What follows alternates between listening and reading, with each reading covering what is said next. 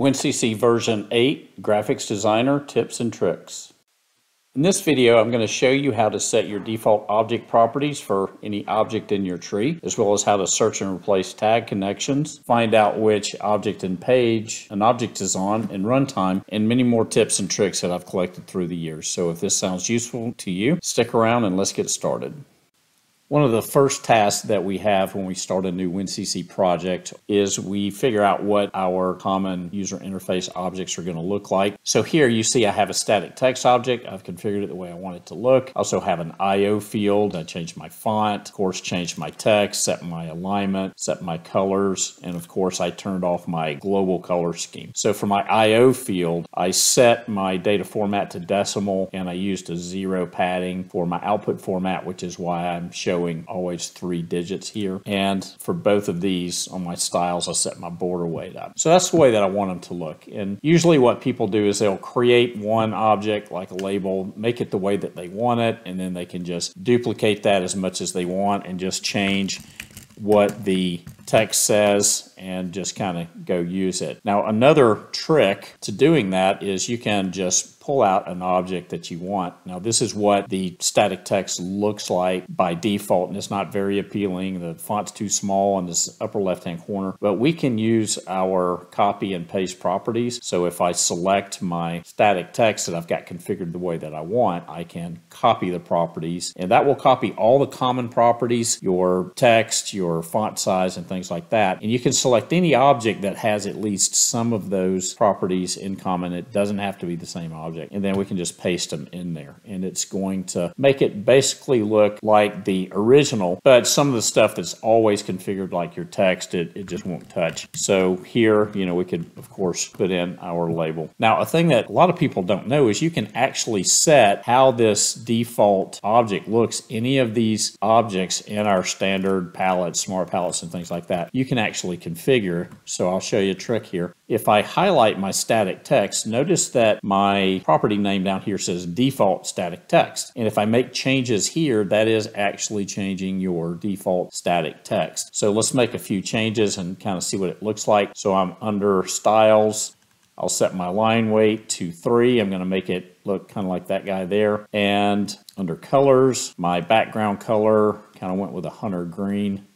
That may or may not be the exact same shade of green, so I can use my eyedropper and pull that out. And then under my font, we'll make our X and Y alignment here. I'll set my font size to 20, and then I'll put some default text in there. just put place text here.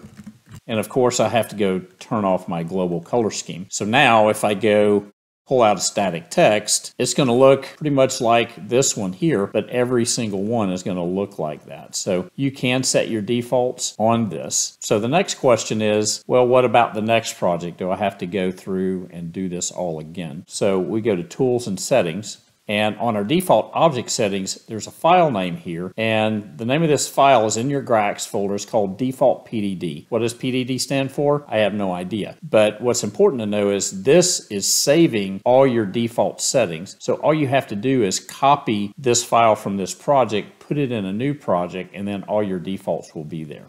Another tip that I like to show people is that you can drag things into your own project library. And so let's say that I use different types of labels for different equipment. So let's say that I use orange labels for my pump objects and associated equipment and then I'll right click duplicate this again and let's say that this will be purple and these are tanks and maybe on this one we give it a white font. So let's say that I just want to be able to use these pretty easily. So I open up my project library, I can create new folders. So let's say that I want this folder to be named label labels and then I can go inside here. I can just drag these in. Now notice it gives it a new name and you can right click rename these so this might be motor labels and then I'll just repeat that process with my pumps and my tanks.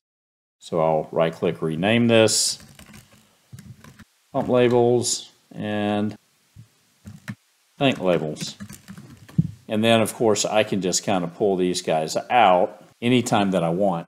Now of course, you're going to have the same question as we did last time. How do I get this stuff into a new project? How can I carry my project library around? Well, if you go to your project directory there in the kind of root there, there is a library and there's a library.pxl and that is where your library objects are. So if you open a new WinCC project, all you have to do is come to the project where you've created your library objects, copy this over, to the library folder in the new project and open up your library and you will see all your objects and you can use them.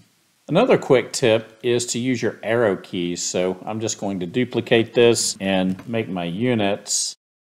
Of course, you can kind of drag the stuff anywhere you want, but sometimes it's nice to be able to finally place it. So if you hold your shift key down and move your arrows when you have an object or more than one object selected, then it moves by 10 pixels and you can kind of move this around. And if you don't hold the shift key down, then it moves it by one pixel. So I just call this finally place. I use this all the time.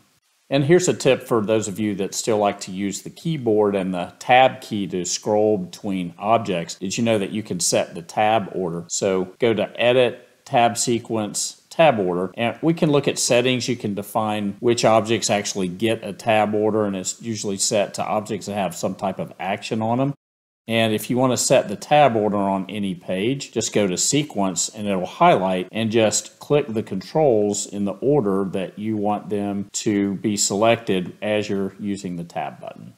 So if we switch over to runtime, we can test this. You can tell that the start button is selected. It's kind of got that little border around it. And as I hit my tab button, you can see that the focus is switching to the buttons in order, ending up on the close.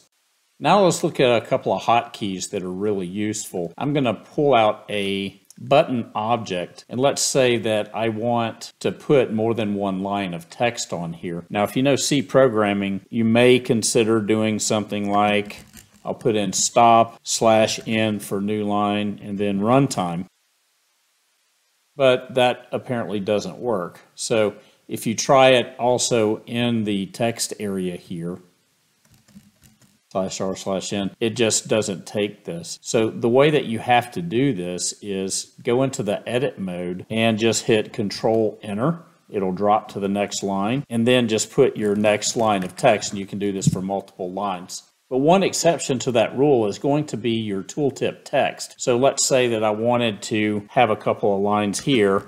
Press this button two, and then if I hit control enter, it just X's out. So this is one case where you can actually put your backslash in and then put the rest of your text. And then you'll hit enter. And then if you save and go to runtime, you'll see that you do have two lines of text on your tooltip text. Now here's one of my favorites, and I came across this by accident. We all know what Control A does, which selects everything on the screen. But did you know if you select a certain object, like here I'll select a picture window, and then you hit Control A, it'll select only that type of object on the screen. So I've got all my picture windows selected here. This is really useful if you need to set all the properties of a certain type of object. Maybe it is an authorization level or it's a font size or something like that. So I could select an IO field, hit Control A, it selects all the IO fields. And if you select two objects, like here I've got a picture window and an IO field, if I hit Control A, it selects all of both types of objects. So I use this keystroke all the time. Another useful keystroke is accessed in runtime. Let's say that I've got a pop-up window open. If you hold Control Shift down, and mouse over any object, it will tell you the name of that object as well as the picture that it is on. This is really useful if you're trying to troubleshoot a project that you may not be familiar with. Sometimes you're seeing things in a picture window that you don't really recognize is actually in a picture window. And this can tell you exactly what object you're hovering over and what screen it's on. Now for my C-script programmers, here's a tip. If you're like me, you really like to format how your loops and different areas of your code are. But in this code editor, I'm hitting the tab button. The tab button doesn't work, but you can use your control tab to control this. So I use this quite a bit it's been kind of second nature to me, but I was teaching a class the other day and someone was kind of struggling with this. So you can just use Control Tab to get to your tab character in the C-Script interface. Now, of course, the VBS interface doesn't really have this problem. Uh, the tab works and everything.